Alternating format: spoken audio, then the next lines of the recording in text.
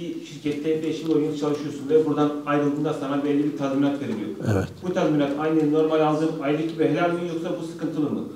Tazminatla ilgili olarak siz başta bununla ilgili olarak bir anlaşma yapmıştınız. Doğru mu?